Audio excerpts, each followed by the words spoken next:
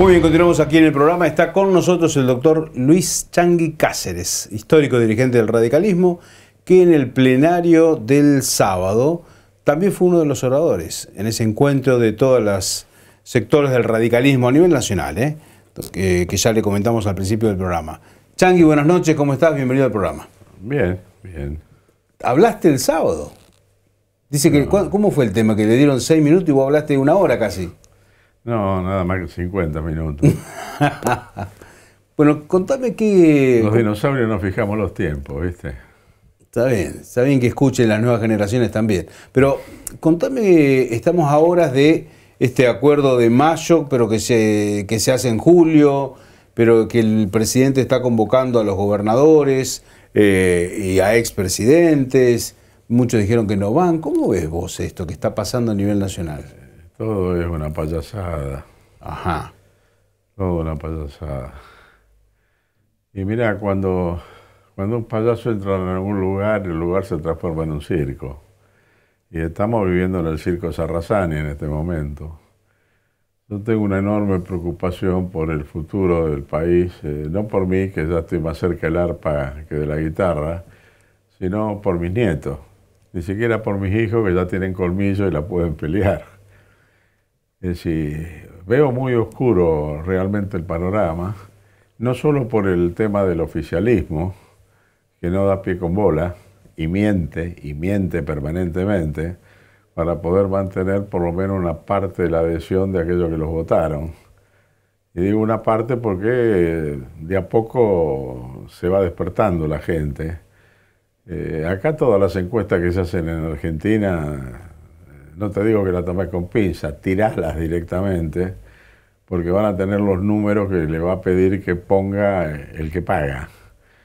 Pero Gallup, por ejemplo, que es eh, de afuera, en el mes de mayo le dio un 36, que es una enormidad, pero eso fue en el mes de mayo, cuando acá le daban 56, 20 puntos de diferencia. Es decir, sigue teniendo un nivel de adhesión a partir de, aquellos que, como lo votaron en su momento, digamos, no se animan a autocalificarse de, tontos porque votaron esto. Ahora, Changui, vos fuiste muy crítico en la, en la digamos, en, en el, dura- durante la campaña electoral de Milei. La, la pregunta es, ¿qué pasó después, a partir de que asumió? ¿Es, es para vos, se confirma lo que imaginabas o es diferente? No, no, se confirma plenamente lo que imaginaba. Te diría que es peor todavía de lo que, de lo que imaginaba. Es decir, este muchacho no tiene idea, es decir, vive en la mentira. Eh, Suponte, en algún momento una de las tantas mentiras dijo, antes de emitir me corto el brazo. Bueno, se lo debe haber cortado 248 veces ya, porque en los eh, meses estos, en los tres primeros meses de gobierno de este muchacho, emitió más de los últimos seis meses que había emitido eh, La Massa y. Alberto. Sí. Es decir, ese es el nivel de emisión. Aparte, él cuando plantea que bajó el déficit, que esto y que lo demás, y que ha equilibrado las cuentas, porque no paga. No paga lo que tiene que pagar. Es no le paga a los, eh, a los importadores, a los exportadores, es no paga el tipo, no manda lo que tiene que mandar a las provincias, etcétera, etcétera. Entonces, así, eh, bueno, equilibra las cuentas, pues no está pagando. Y en el medio de esto, ¿cómo ves el papel de la oposición y especialmente de la Unión. Cívica Radical? Desastre, desastre. ¿Por qué? ¿No A tiene ver, oposición vamos, o qué? va- vamos por parte. Yo diría que antes eh, eh, del voto bronca que lo llevó a Milei a la presidencia, antes de eso está la enorme responsabilidad de los anteriores. Mi ley es producto de las frustraciones anteriores. Mi ley es producto de aquellos que prometieron cosas, no cumplieron, y la sociedad fue incrementando la bronca. y la bronca se terminó expresando en un salto al vacío de un tipo que venía fuera de la política, de un outsider, que planteaba cosas que, este, bueno, eh, que no la entendían, pero que eh, significaba terminar con todos aquellos que le habían prometido antes cosas y la habían frustrado. Entonces mi preocupación, una de las tantas preocupaciones, es que, es que el muerto, cuando hablo del muerto, hablo de mi ley, hablo del muerto político, porque yo creo que eh, la gente va a empezar a despertar, está empezando a despertar, y este va a ser un muerto político, que espero que sea muerto político y que no termine como Mussolini, que es una imagen que cuando era pibe no me la puedo sacar de la cabeza, que terminó colgado este, con un cadáver que los que pasaban lo pateaban, lo escupían, etcétera, etcétera. Porque este muchacho está plantando violencia, violencia verbal todos los días. Y la, la, violencia verbal termina desembocando en violencia física. Entonces, esa es una de las preocupaciones que tengo. Y la otra preocupación que tengo, como ha despedazado la Constitución, yo creo que ni en la época de los golpes de Estado, se ha pisoteado tanto la constitución como la está pisoteando este muchacho en estos tiempos. Y podés hacer una enumeración de las cosas. Eh, a ver, yo como radical soy humanista, republicano, demócrata, pero republicano significa división de poderes. Y este tipo ha pasado por encima del artículo 29 de la Constitución Nacional se ha apropiado del legislativo con el voto favorable y el beneplácito de la mayoría del Congreso. Ahora, Changi, está bien, pero vos mirás los números, los senadores que tiene, los diputados que tiene, o sí, con una minoría ínfima. Por, eso Por ejemplo, logró la, aprobación de la ley base, el, paquete fiscal. y bueno, por eso te estoy señalando la responsabilidad de la oposición. ¿Vos no hubiese firmado la ley base? No hubiese, si, cuando vos fuiste diputado, loco, vos no lo hubiese dado Ni loco, ni loco. El tipo es antirrepública, antidemocracia, porque es antipartido político. Sí. Y vos no podés tener democracia sin partidos políticos, que son los que representan las porciones de la ciudadanía. Y la democracia le va dando en función cuantitativa de lo que en algún momento cada uno de esos grupos saca, eh, el lugar y el acomodamiento que tiene que tener. Es antiestado, te lo dice en la cara, soy un topo dentro del Estado para destruir el Estado. Entonces que una parte de la oposición diga que hay que darle las herramientas, hay que darle los instrumentos, me parece de una torpeza total por parte de aquellos que lo dicen de la buena fe. Y me parece una hijaputez enorme de aquellos que lo plantean no de la buena fe. O sea, eh, a ver. Está bien, pero ¿cómo planteas entonces? Porque el presidente dice, necesito las herramientas, por eso necesito esta ley, o, esta, o estas leyes, o paquete de leyes. Eh, siendo opositor, ¿cuál es el rol? ¿Oponerte sistemáticamente a lo que proponga? No, no, no, no. No, no. Yo creo que está bien lo que hizo Lustó. Es decir, Lustó hizo una propuesta. No es simplemente el tema de que se opuso. Se opuso a lo que era un suicidio y hizo una propuesta.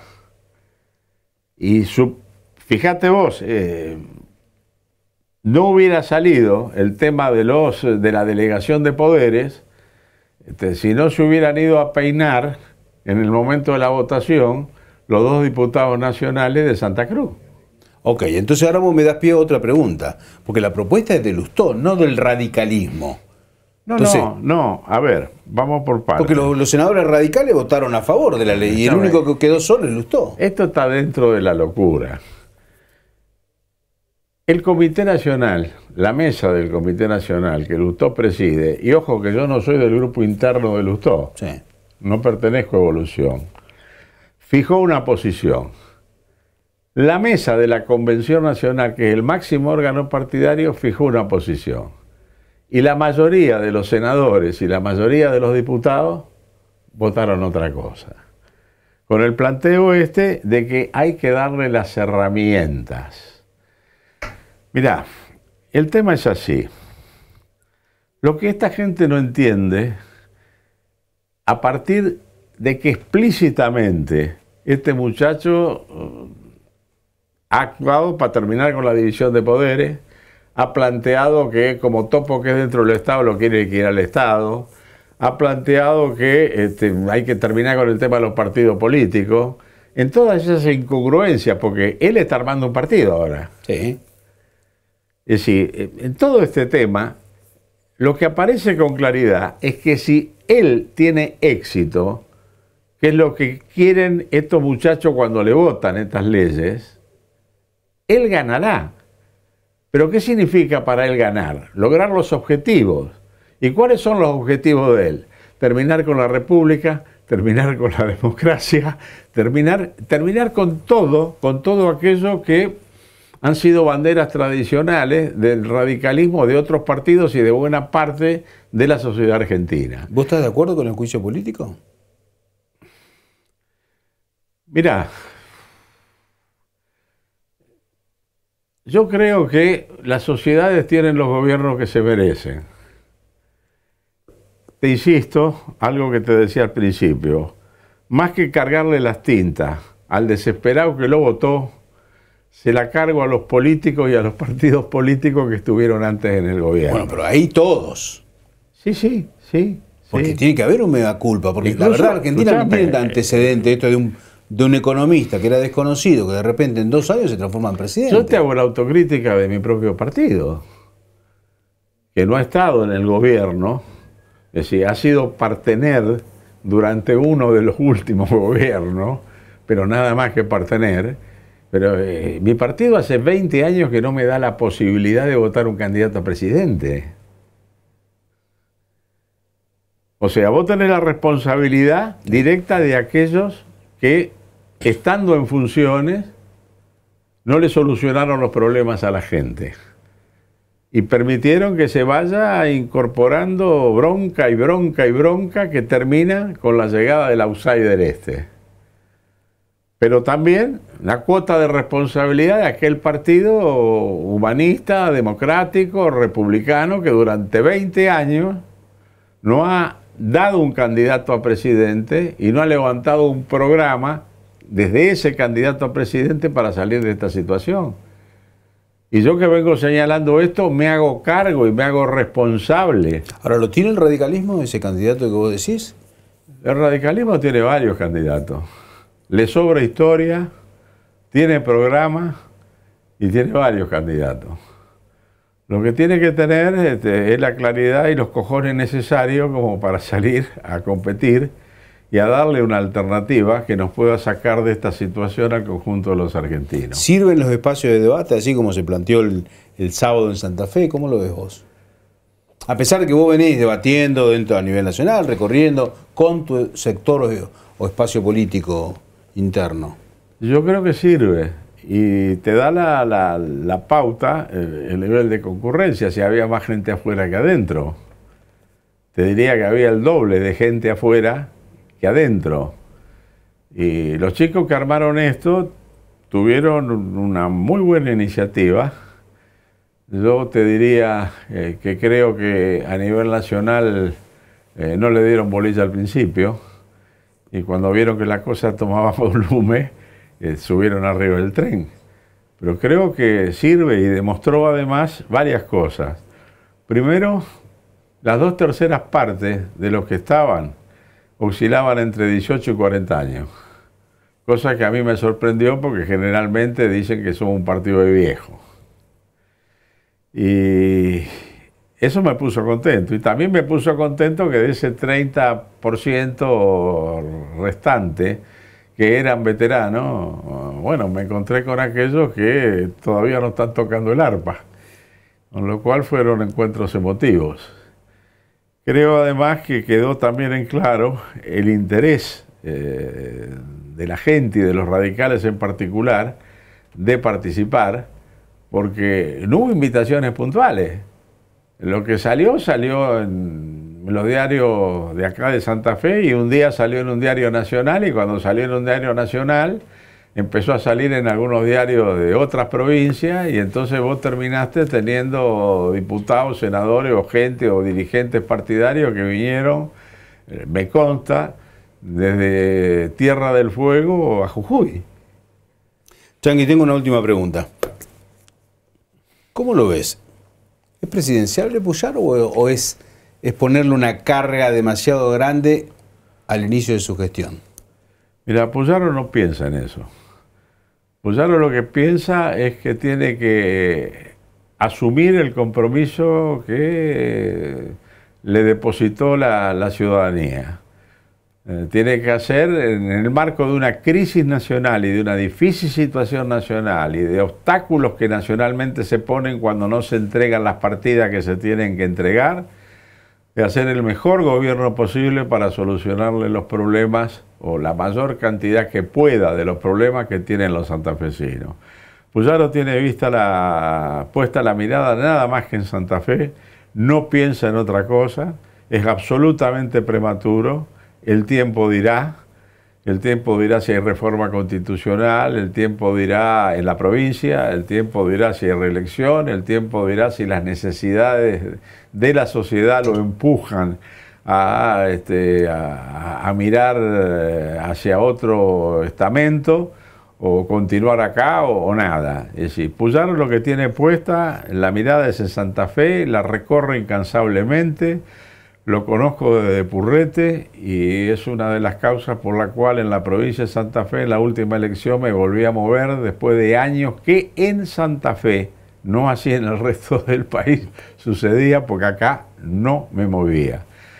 Creo que es una, una esperanza no solo para los santafesinos, sino que desde Santa Fe se puede llegar a proyectar un modelo, que es primero unidad partidaria y la unidad partidaria tiene que ser con aquello que en las líneas generales eh, mantienen los pies dentro del plato. O sea, el que sacó los pies del plato, bueno, que se vaya ahí a la libertad no sé cuánto o, a otro lado y no joda por lo menos. Después unidad con los parecidos. Y una vez que a partir de la unidad interna y la unidad con los parecidos se logra el gobierno, buscar puntos de contacto y unidad en cinco o seis puntos que vienen a ser este, fundamentales para poder salir de una situación de crisis aguda como la que vive la Argentina, que son los que te permiten fijar política de Estado. Ese es el modelo santafesino que está dando resultados y yo creo que es un modelo absolutamente trasladable a nivel nacional si queremos salir de esta difícil situación y podemos de una vez por todas cumplir con parte de las aspiraciones y los sueños que los argentinos tenemos y que sería hora de que lo podamos concretar. Changui, muchísimas gracias por tu tiempo. No, al contrario. Gracias por la nota. Y saludo a tu audiencia. Punto final para este programa. Gracias por habernos acompañado. Nos reencontramos la próxima semana a esta misma hora y por esta misma señal. Hasta entonces.